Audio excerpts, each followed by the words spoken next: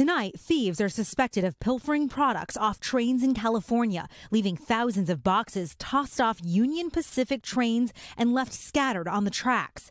It may sound like the train robberies of the Wild West, but it's happening today as the ports of Los Angeles and Long Beach struggle to process idling ships, adding to the already snarled supply chain in our pandemic recovery. Our NBC Los Angeles crew caught on camera several container doors swung wide open that section of the track bordered by homeless encampments on both sides. NBC LA capturing on video these two individuals along the tracks, one hopping on a slow moving train carrying what appears to be bolt cutters. Cargo thieves and organized cargo theft groups is that they will target commodities that they know that they can sell. So they're going to hone in on those commodities that are either high in demand or shortage and harder for people to get. That way they can get a better return on the sale of it when after they steal it. Back in August, officials found $100,000 worth of merchandise taken from a Union Pacific train in a homeless encampment in Pomona, California.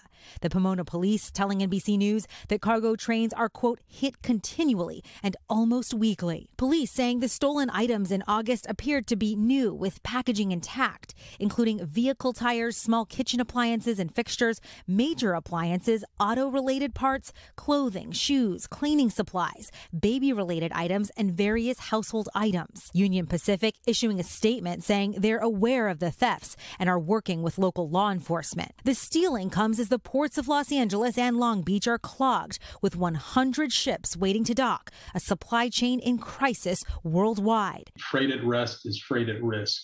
So when you see more cargo sitting around, you're certainly going to create a bigger opportunity for cargo theft. The other major ingredients in the increase are going to be the demand and the shortages. And the National Insurance Crime Bureau says cargo theft is likely to increase through 2021. All right, Jo Ling Kent joins us tonight from Lincoln Park, Los Angeles, where more of this has happened. And Jo Ling, in addition to this disturbing train theft, you also have some new reporting on more slowdowns in the supply chain?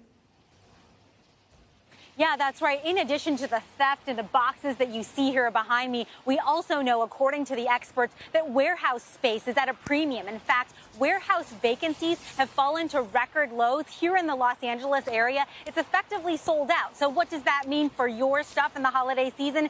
Even if it's coming off of a port and it's coming on a container on these railways, it doesn't necessarily get to you or to your store in time because there may not be enough warehouse space. And that warehouse building, it takes time. And those warehouses, they can't go up fast enough, Tom.